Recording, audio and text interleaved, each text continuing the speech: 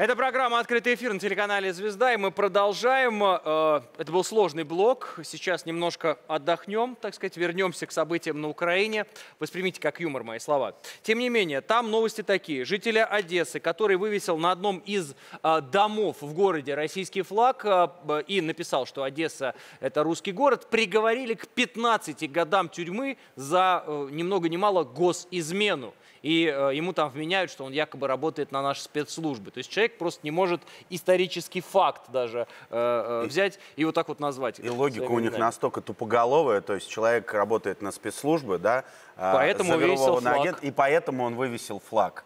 Вот так это работает по логике С другой стороны, э, по последним заявлениям э, Зеленской, вообще мы страшные люди. Но э, дальше идем. Мы часто в этой студии задаемся вопросом, как вот этот вот весь нынешний абсурд, да, э, который мы слышим и от Зеленской, там, и вот э, по этим новостям из Одессы, как он стал украинской реальностью? Почему вообще люди это э, видят и как будто бы считают чем-то более-менее нормальным и вписывающимся в э, реальную жизнь? И вот сегодня в нашей студии человек, который который уже много лет пытается показать Западу, как Украину превратили вот эту самую анти-Россию.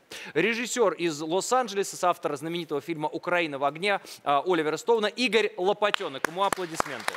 Сейчас Игорь работает над, новой, э, над новым фильмом, он будет называться «Украина. Война и мир». Есть у нас э, фрагмент э, тизера. Давайте посмотрим и будем говорить. Сегодня Киев проснулся под звуки выстрелов. Протестующие под самодельными щитами идут на живой огонь. То, что мы видели здесь сегодня, было революцией. Во второй раз за десятилетие Украина свергла своего президента, нанеся мощный удар по России Владимира Путина. Мы считаем, что украинское правительство пришло к власти демократическим путем. Янукович, который поддерживал тесные связи Украины и России, бежал из Киева. Весь свободный мир с вами, Америка с вами, я с вами. ЦРУ развивает фашистские активы на Украине уже 70 лет. У вас был Крым, который хотел отколоться. Президент России Владимир Путин подписал договор о вхождении Крыма в состав России. Ситуация на востоке Украины стремительно обостряется.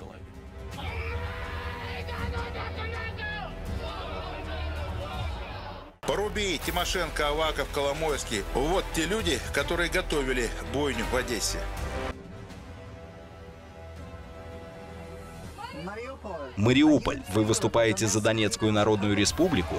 Исполняющий обязанности президента Украины Александр Турчинов назвал голосование шагом в пропасть. Господин Турчинов, который фактически начал войну, он несет огромную ответственность за это. Он начал войну против собственного народа. Петр Порошенко пообещал реформировать экономику и бороться с коррупцией. Его роль в протестах против прежнего режима придала ему вес и авторитет. Слава Украине! Он подает себя как кандидат, способный примирить Восток и Запад страны. У нас діти підуть до школи, до дитячих садків. У них вони будуть сидіти в підвалах. Ну, это знаменитая фраза, на самом деле, да, что дети будут сидеть в подвалах. Также мы прекрасно знаем, как э, Крым, э, жителей Крыма лишали света, воды и всего остального. Что делал киевский режим на протяжении последних, во всяком случае, восьми лет э, с жителями Донбасса. И как же удивительно теперь смотреть на то, когда они удивляются, что происходит у них. Игорь, забавная история была прямо перед эфиром. Я подошел, поздоровался, и вы так тайно сказали, как хорошо, когда они не знают люди, кто к ним пришел. Игорь, я вас знаю, потому что что вы в наших эфирах уже участвовали. Это во-первых. Во-вторых, спасибо года. вам, да, за вашу работу. А, В-третьих, а, по поводу вот этого фильма. А, основная цель, кому этот фильм служит посланием? Кто его должен посмотреть? Что должен вынести? Я хочу начать, процитировав великого советского разведчика Вильгельма Фишера, больше известного широкой публике как Рудольфа Абеля, когда в его предисловии к фильму «Мертвый сезон» он говорит о биологическом оружии и химическом оружии, опыты над которым проводятся и ведутся а, работы в Америке в Канаде, а, что задача всех людей мира – раскрыть преступный замысел. Потому что раскрытый преступный замысел делает само преступление по массовому уничтожению людей, живущих на этом планете. Когда я говорю массовому, я не говорю о тысячах, я не говорю о миллионах, о десятках и сотнях миллионов людей, что как это не, не прискорбно входит в планы тех э, товарищей, которые нам не товарищи, которые на сегодня диктуют повестку и диктуют господину Зеленскому и всей его клике, что ему делать. Вы говорите, десятки миллионов людей. Я говорю о сотнях миллионах, миллиардах людей, об уничтожении большего части человечества и снижения популяции этой Земли до 500 миллионов. Это как? их цель. Это как? Ну, если вы знаете, что такое Global Reset, если вы, ну, это слишком далеко от темы, давайте вернемся Ну, более глобальная активной. перезагрузка, условно Глобальное уничтожение, геноцид людей, живущих на этой планете, потому что 500 миллионов, как считают либерально настроенные люди, э, которые диктуют повестку э, Зеленскому и всем остальным, это как раз оптимальное количество. Если прям максимально коротко, какой инструментарий они могут использовать? Инструментарий – глобальная термоядерная стратегическая война с последующим голодом, потому что в термоядерной войне погибнет 200-300 миллионов в течение нескольких часов, а после этого от голода погибнет 4 миллиарда человек. Вот этот инструментарий или 5 И живые миллиардов. позавидуют мертвым, сказано. И живые лекции, да. позавидуют мертвым. Так вот, наша задача, на которой я и мои коллеги работаем уже 8 лет, раскрыть этот преступный замысел, сделать невозможным его осуществление. И для этой цели необходимо объяснить западному зрителю, потому что он живет в вакууме. В этом э, пространстве, в котором находится э, западный зритель, э, в нем нет РТ, в нем нет вашего канала, в нем нет Первого канала России, нет никаких источников информации, кроме тех, которые представляют Россию глобальным злом, которая напала на беззащитную Украину в 2022 году. Эта война началась не в 2022 году, эта война началась в 2014. Эта война началась расстрелом. Кстати, Столтенберг это сегодня признал открыто. О, На всякий случай. Добро пожаловать. От него не ожидали, но он Добро признал. пожаловать в наш клуб. А, В 2014-м расстрелом своих собственных а, граждан на Майдане в спину оппозиционными лидерами и поддержанным потом переворотом, валидацией его командой Нуланд, Байдена и Обамы, они начали войну против России. Это прокси-война. Она просто сейчас достигла той фазы, той красной черты, дальше которой отступать России нельзя. Потому что дальше потеря Крыма и потеря территорий и разрушение этой страны, великой страны, у которой тысячелетняя история, и гражданином которой я в том числе с огромным э, м, почетом себя называю и являюсь гражданином России. Я гражданин Украины, Америки и России. Вот представляете, как я живу с этим? Я все еще украинский гражданин, я с 2016 гражданин США и с 2021 я Игорь, гражданин только, России. только ради юмора э, пошучу. Но скоро все будет одно. Вскоре станет на одно меньше. А, Вы вспомнили 16 год, очень важный вопрос, не могу его не задать, потому что давно хотел задать. Мы помним а, тот эффект от фильма «Украина в огне». А, В целом, да, по самым скромным оценкам, минимум 350 миллионов просмотров по всему миру. Но очень важно понять, понятно, что фильм был не адресован не нам, мы в курсе всего этого, мы живем с этим, мы знаем, у нас э, свидетели в, в студии, в эфирах. Вы адресовали это Западу. Запад, обыватель, услышал, увидел, какая реакция Вот была? тот обыватель, у которого Запад нет увидел. тех каналов. Я да. хочу немножко поправить. 350 миллионов аудитория. Человек. Аудитория, аудитория, а, да, не просмотров значительно да. больше, Конечно, потому что некоторые больше, да. смотрят фильм по три, по четыре Конечно, раза. конечно. Аудитория, 350 А, миллионов. самый простой пример, как ре- реагирует а, западный зритель. Во-первых, очень хорошо работает что? Фильм начинается с названием «Украина», то есть Ук- Ukraine on Fire. То есть он садится, открывает свой значит, этот см- smart э, ТВ, вбивает И Ukraine, ждет, сейчас будут хвалить Майдан. и что выходит?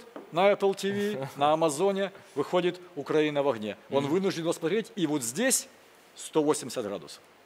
То есть это не моя похвальба, это реальная оценка тех, которые пишут мне и говорят, после просмотра вашего фильма я удалил заставку со своего рабочего стола, на котором стояла разбитая Мрия, и украинцы возле нее с украинским флагом. Игорь, а и как она вообще, бороться. эта заставка у них стала появляться? Я Ну, никак не могу понять, знаете, заставка- почему такое политизированное общество? Какое им дело до Очень Украины? просто. Вы знаете, во-первых, Запад – это э, очень общество, в котором манипуляция сознанием массового обывателя достигла потрясающих высот. Потрясающих. Потому что так, как промывают мозги там, не промывали в фашистской Германии. И это делается очень аккуратно. Это звучит полифонично. Это оркестр. Но в этом оркестре нет альтернативного а, э, зрения. Вот такой альтернативный э, значит, э, взгляд на ситуацию мы с моим другом, партнером и моим учителем Оливером Стоуном, которого я очень люблю и 8 лет уже нахожусь в его обучении, а, мы предоставляем западному зрителю. И этот зритель это ценит, поверьте. Вот сейчас последние примеры. А, Благодаря э, ру- русскому аниматору Юрию Нарштейну, это который замечательный на, на все времена в Японии признанный лучшим мультфильмом «Ежик в тумане», у нас кинотеатральная дистрибуция в Японии сейчас. Кинотеатральная, то есть в кинотеатрах. А Германия дублирует продолжение «Украины в огне» на немецкий язык, потому что немцы любят смотреть на своем языке, как, кстати, и русский. А с ними конкурирует Австрия, потому что большой Red Bull House Media, это огромный конгломерат, очень независимый, они тоже хотят показывать Украину в огне. Ну, то есть И пробить можно все-таки эту стену? пробить можно. У меня э, 30, 17 платформ только в Америке показывают Украину в огне. 17 платформ. Это очень интересный факт. В России две. Смотрим э, и, А- Russia а, Today. а чем вы это объясняете? Тем, что... А очень просто, потому что здесь, извините, на большинстве платформ засели люди, которые считают, что они все еще вернутся на Netflix со своими замечательными сериалами, А. что они будут продавать это вершине демократии э, вещи, которые они сняли за деньги фонда кино, и будут получать от них хорошие, и будут ездить туда. Что-нибудь о том, о том, как вот э, какая-нибудь покосившаяся лавочка в далеком городе, и на ее фоне взлетает ракета. Понятно. Здесь, моему народу. Я пользуюсь этой трибуной для того, чтобы спросить, а с кем вы, мастера культуры? Может, вы с Соросом? Очень главное. Может, вы-. С National Endowment for Democracy? Вы с кем? Игорь, что значит может? Может, потому что я все еще даю им шанс. А, можно же и кровью искупить, можно на фронт пойти, можно, а можно искупить деянием своим. Я поражен, потому что другие мои работы, офицеры в цвете, э, в бой туда дни старики, э, отец солдата, не находят тоже спроса на платформах. Хотя нужно современная искусство, нужно современная э, история про э, Донбасс, про Сирию. Может, мы современную историю про Александра Невского сделаем?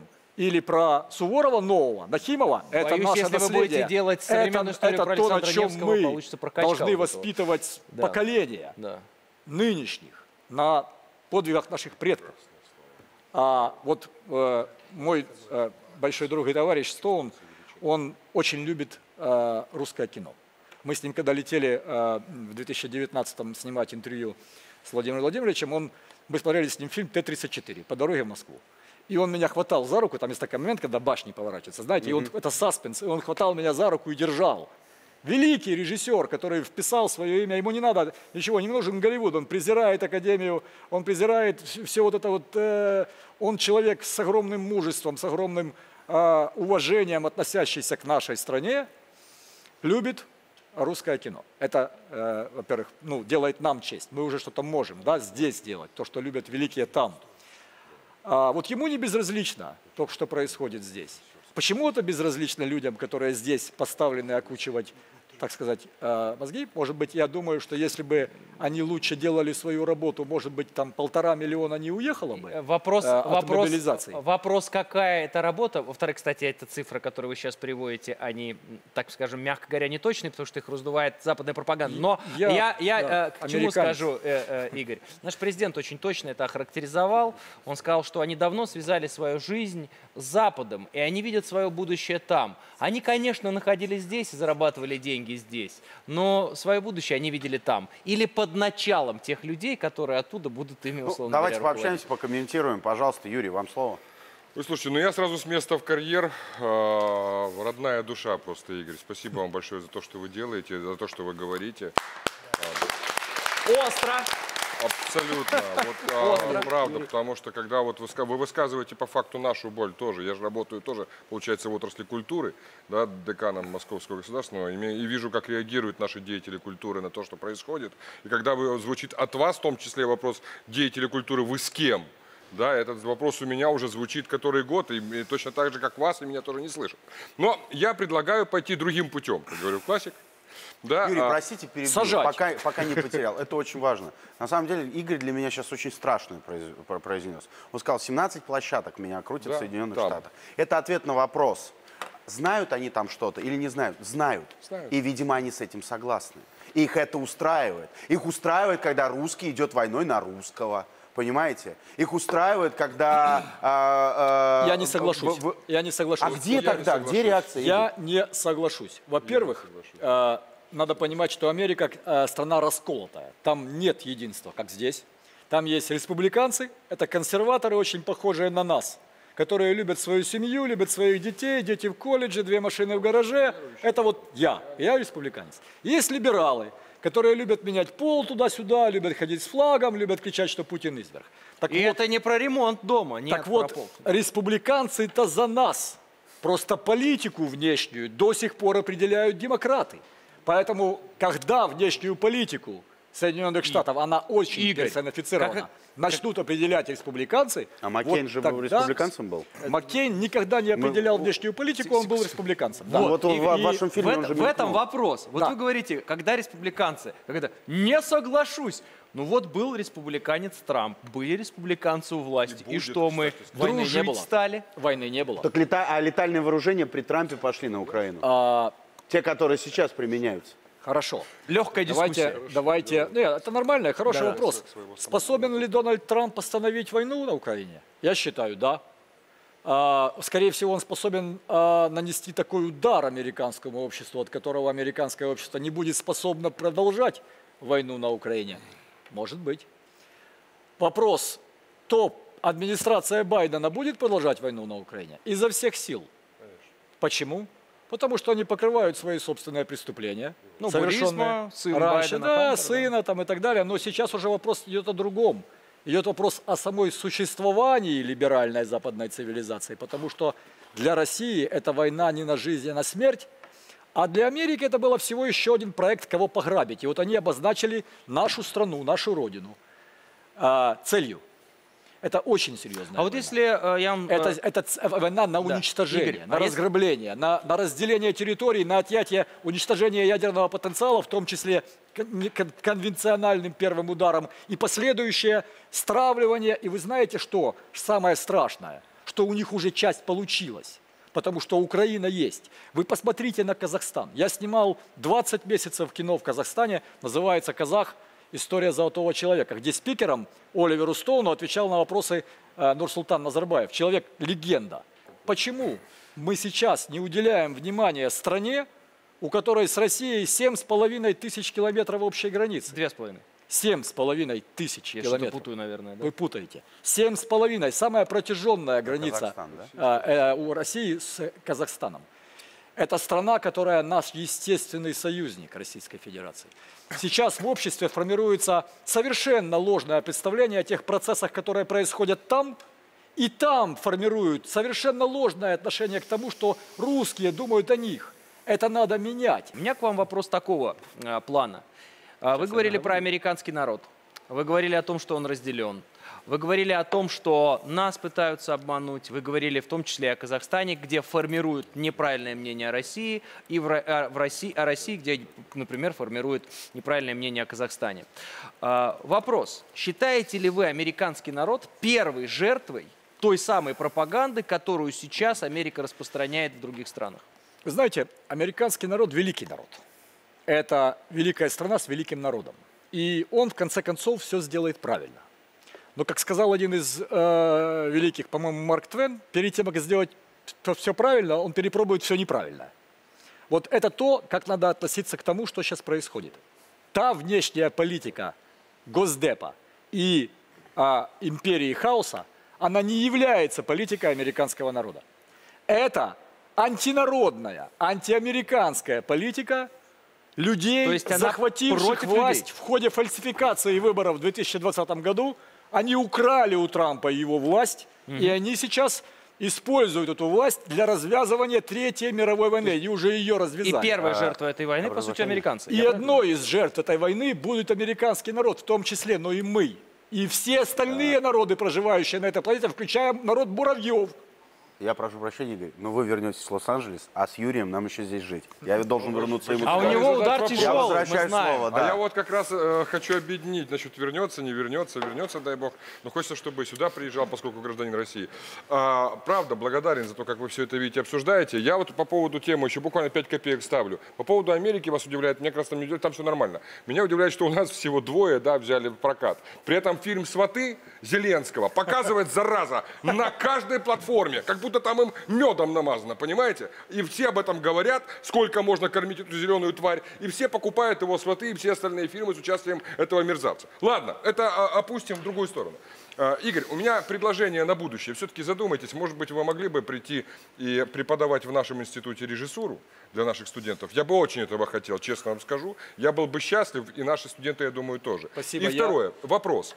А за посредничество что-то полагается? Нет, это не посредничество, ребят. Я вам честно Я скажу. про вот- себя, ну, А, в этом э, смысле. Вы можете тоже могу прийти лекцию поучиться, прочитать. можете, да. Поучиться, могу Я к поучиться. тому, что... а, а, а, Игорь, у меня вопрос такой. У вас на Украине наверняка есть родственники. Э, И и я не знаю, э, вероятнее всего, как и у меня. Там, наверное, есть те родственники, которые, у которых тоже крыша за Майдан потекла, и которые, наверное, не слышат, не видят ничего.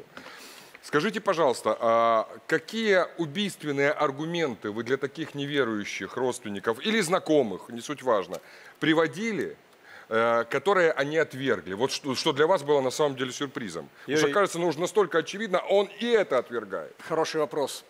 А, не только родственники. Там дети мои некоторые Ох отворачиваются от меня, называя меня фашистом, пособником Гитлера. А, да, есть родственники, не хочу о них не говорить. Недавно, по-моему, погиб мой брат сводный под Бахмутом. Он воевал в егерской бригаде украинской. У меня очень мало к нему атачмента, мы от разных матерей. Я его видел раз в жизни, но я пытался его найти э, в русской тюрьме, а его нет. Это значит, что он погиб. А, вот это их главный аргумент. На сегодняшний день все аргументы исчерпаны. Все, что мы могли сказать, сколько ты не будешь читать книги, стихи, показывать фильмы нацистам, нацисты от этого не перестанут быть нацистами. Их надо за шкирдяк вытащить из подвала, как это делали наши деды в Берлине, посадить на, сначала на скамью подсудимых, судить, а потом расстрелять. Или лучше всего повесить, как висели бендеровцы на Крещатике, закатанные в смолу, и висели долго, несколько месяцев, чтобы все жители города Киева видели, ходя мимо этих висящих трупов, что будет с всяким, кто пойдет по бендеровским стопам. Вот это, Юрий, ответ на ваш вопрос. На сегодня время аргументов исчерпано. Они пришли нас убивать. Мне считают некоторые, что я приехал сюда за деньгами, я приехал сюда на войну. Они думают, что я приехал отнять у них деньги, я приехал отнять их души и отправить их на высший суд. Потому что для меня эта война священная. Вы знаете, я считаю, что когда ты считаешь, что атаку на свою родину священной войной для тебя, тебе не нужно указы президента, тебе не нужно объявление каких-то военных положений и чего-то еще. Ты сам будешь относиться к этой войне как к своей священной войне. Вот почему я каждое утро пою эти песни э, времен Великой Отечественной, вот почему я здесь, и почему я очень признателен вам за платформу. вам взаимно. Извините за острость, но Нет, все так. Спасибо, спасибо большое вам, Игорь. Аплодисменты еще раз. Игорь нашим Лопатенок, гостям. аплодисменты. А вот. А по поводу того, что острость, так а, а, мы вообще всегда э, любим такие фишки, нам это нравится. Вот, у вас интересный стиль изложения. А, вот, Юрий, это конкуренция. Но вы правильно, вы сразу решаете э, конкуренцию простым образом. Вы говорите, давайте-ка работать на меня. На меня, на Россию. Да я шучу. На Россию. Я шучу. По, поводу там э, промывки мозгов с того же Запада, у них там есть один из любимых сериалов. Сейчас он, по-моему, еще идет или закончен уже. Про детей, очень странные дела называется. Опять же, э, объясню. Я тут с либералами общаюсь, с молодыми такими, сериальниками.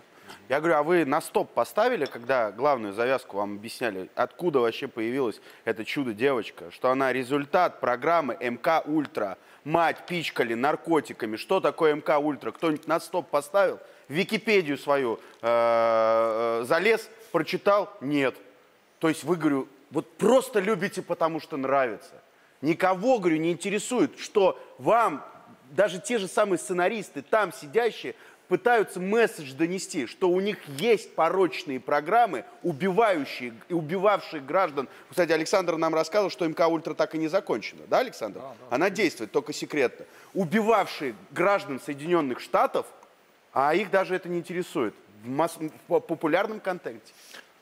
Ну, неосознанные люди. Сейчас сделаем небольшую паузу, после этого смотрите. Спецоперация здесь и сейчас. Как наши войска берут стратегически важные для России рубежи. И почему Зеленский отдает приказы бомбить с боевых вертолетов монастыри с мирными жителями, расскажут военкоры Сергей Среда и Иван Копол.